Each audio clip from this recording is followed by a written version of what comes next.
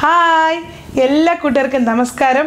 അപ്പോൾ ഇന്നത്തെ റെസിപ്പി എന്ന് പറഞ്ഞു കഴിഞ്ഞാൽ ഒരു ചെറിയ സ്നാക്കിന്റെ റെസിപ്പിയാണ് അപ്പോൾ ഞാൻ അധികം സ്നാക്സ് ഒന്നും ഇടാറില്ലായിരുന്നു. അപ്പോൾ എല്ലാവരും ചോദിക്കാറുണ്ട് സ്നാക്സിന്റെ റെസിപ്പി ഇടാത്തതാണ് അപ്പോൾ ഞാൻ ഇനി ചെറിയ ചെറിയ സ്നാക്സുകളൊക്കെ ഇട്ട് തുടങ്ങാം. അപ്പോൾ ഇന്ന് വളരെ എളുപ്പത്തിൽ ഉണ്ടാക്കാവുന്ന ഒരു സ്നാക്സാണ് അത് അവൽ വെച്ചുണ്ടാക്കാവുന്ന ലഡുവാണ്. അതായത് അവൽ ഉണ്ടേന്നും പറയാം. ഇത് ഞാൻ ഒത്തിരി വർഷങ്ങൾക്ക് മുമ്പ് വെബ്സൈറ്റിൽ ഇട്ട ഒരു റെസിപ്പിയാണ്. അന്ന് തന്നെ ഒരുപാട് ഇത് ട്രൈ ചെയ്ത് നോക്കി ഇഷ്ടമായെന്ന് അറിയിച്ചതാണ്. നിങ്ങളൊന്ന് ട്രൈ ചെയ്ത് നോക്കണം. ഇപ്പം പലർക്കും ഇത് അറിയാമെന്ന് തോന്നും. വളരെ ഈസി ആയിട്ട് ഉണ്ടാക്കാൻ പറ്റുന്ന ഒരു നാലുമണി പലഹാരമായിട്ട് ഇത് കഴിക്കാവുന്നതാണ്. പിന്നെ ഇപ്പം ഇന്ന് തന്നെ ഈ റെസിപ്പി ഇപ്പോൾ ഈ വൈകുന്നേരം ഇടുന്നതിന് കാരണം എന്ന് പറഞ്ഞു കഴിഞ്ഞാൽ ഞാൻ ജോലി കഴിഞ്ഞ് വന്നതിന് ശേഷമാണ് ഈ വീഡിയോ ചെയ്തിടുന്നത്. അപ്പോൾ അതിന് പ്രധാന കാരണം ഇന്നൊരു സ്പെഷ്യൽ ഡേ ആണ് എന്റെ ജീവിതത്തിൽ ഇന്ന് എന്റെ ജന്മദിനമാണ്. അതുകൊണ്ടാണ് കേട്ടോ. അപ്പോഴൊക്കെ അപ്പോൾ ജന്മദിനമായിട്ടൊരു ചെറിയ സ്വീറ്റെങ്കിലും നിങ്ങൾക്ക് അതിന്റെ റെസിപ്പി എങ്കിലും തരണ്ടേ. അതുകൊണ്ടാണ് ഞാൻ ഇന്ന് തന്നെ ഈ വീഡിയോ ചെയ്യുന്നത് കേട്ടോ. അപ്പോഴൊക്കെ എല്ലാവരും ഈ വീഡിയോ കണ്ട് ഇഷ്ടമായെങ്കിൽ ട്രൈ ചെയ്തിട്ട് കമന്റ് ചെയ്യാൻ മറക്കരുതേ. And don't forget it's my mother's birthday, October 31. Bye.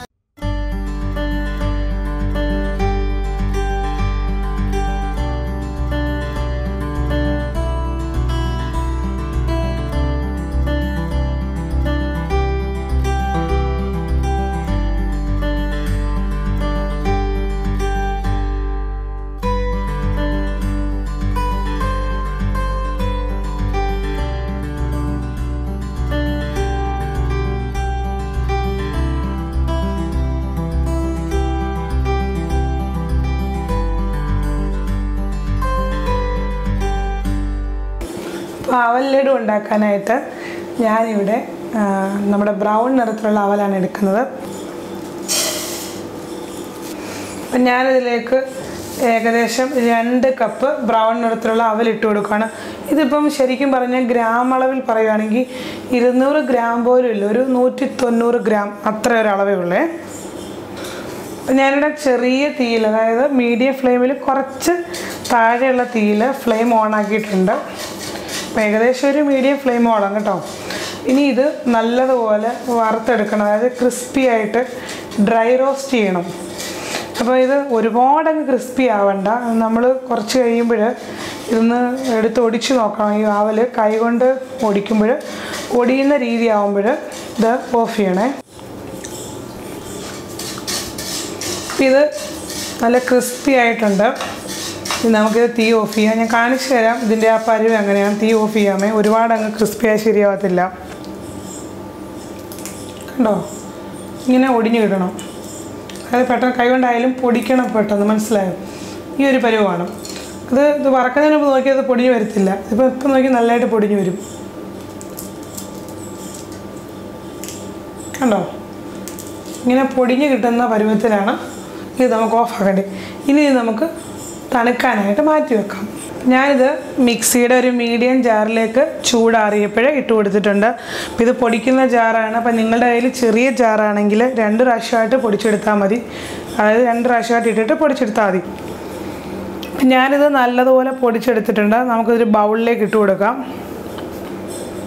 കണ്ടോ? ഈ ഒരു പരുവത്തിൽ വേണം പൊടിച്ചെടുക്കാനേ. ഇനി കുറച്ച് ശർക്കര ചേർക്കണം ഇതിലേക്ക്. ഞാനിവിടെ ഒരു ഏകദേശം ഈ നമ്മൾ ഈ കവറി വാങ്ങിക്കാൻ കിട്ടുന്നതിന് രണ്ട് കട്ട ശർക്കര എടുത്ത് ഇതുപോലെ ചീകിയും പൊടിച്ചുമൊക്കെ വെച്ചിട്ടുണ്ട്. ഒരു കപ്പ് തേങ്ങ തിരുമിയത്. ഇനി ഈ തേങ്ങയും ഈ ശർക്കരയും കൂടെ നല്ലതുപോലെ ഒന്ന് മിക്സിയിലൊന്ന് കറക്കിക്കൊണ്ട് വരാം.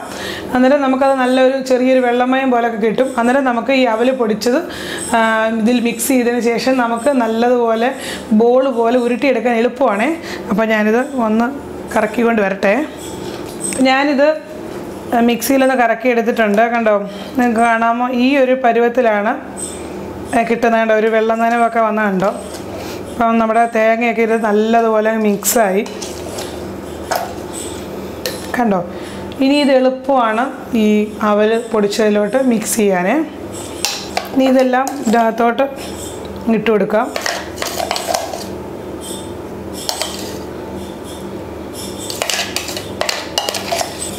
ഇനി നല്ലതുപോലെ ഒന്ന് മിക്സ് ചെയ്യാമേ. കൈ കൊണ്ടാണ് മിക്സ് ചെയ്യേണ്ടത്. ഞാൻ ആദ്യം ഒന്ന് സ്പൂൺ കൊണ്ട് മിക്സ് ചെയ്യുന്നതേ ഉള്ളൂ.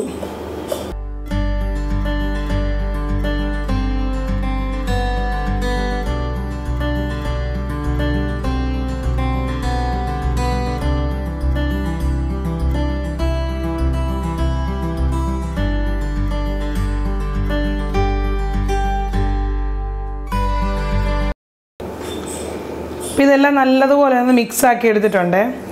ഇനി ഇതിലേക്ക് നമുക്ക് ഒരു രണ്ട് നുള്ള ഏലക്ക പൊടിച്ചത് ചേർത്ത് കൊടുക്കാം. ഒരു മുക്കാൽ ടേബിൾ സ്പൂൺ നെയ്യും കൂടെ ഞാൻ ചേർത്ത് കൊടുക്കുവാണ്. ഒരുപാട് വേണ്ട നെയ്യുടെ ടേസ്റ്റ് എനിക്ക് ഒരുപാട് ഇഷ്ടമല്ല. നിങ്ങൾക്ക് ഇഷ്ടമാണെങ്കിൽ ഒരു ടേബിൾ സ്പൂൺ വരെയൊക്കെ ചേർത്ത് കേട്ടോ ഇനി ഇത് വീണ്ടും നല്ലതുപോലെ ഒന്ന് മിക്സ് ചെയ്യണേ. ഇച്ചിരി ടേസ്റ്റ് കൂടാൻ വേണ്ടിയാണ് നമ്മൾ നെയ്യ് ചേർത്തത് കേട്ടോ അതാണ്ട് ഇങ്ങനെ ഇങ്ങനെ പിടിക്കുമ്പോൾ കണ്ടോ? ഇത് താഴോട്ട് പോകത്തില്ല. ഒരു ബോൾ പോലെ തന്നെ വരുന്നുണ്ട്. അതാണ് ഇതിന്റെ കറക്റ്റ് പരുവം.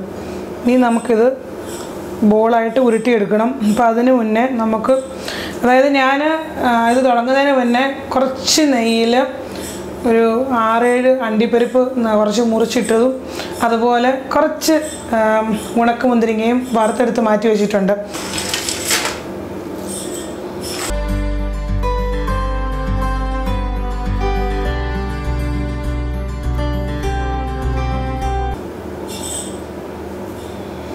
ഇത് ഉരുട്ടുമ്പോൾ നിങ്ങൾക്ക് ഉരുട്ടാൻ പറ്റത്തില്ല എന്നുണ്ടെങ്കിൽ മാത്രം കയ്യിൽ ഇച്ചിരി നെയ് പുരട്ടി കൊടുക്കാം. പക്ഷേ ഇത് നല്ലതുപോലെ ഉരുട്ടാൻ പറ്റും കേട്ടോ. നിങ്ങൾക്ക് കാണാമല്ലോ ഞാൻ ഒരു കൈ കൊണ്ട് തന്നെ നല്ലതുപോലെ ഉരുട്ടുന്നുണ്ട്.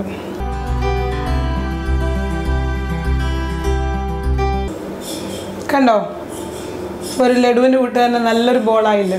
അപ്പോൾ നമുക്കിത് മാറ്റി വെക്കാം. ഇതുപോലെ നമുക്ക് എല്ലാം ഇങ്ങനെ ഉരുട്ടിയെടുക്കാം. ഏകദേശം ഈ ഒരു വലിപ്പം മതിയേ.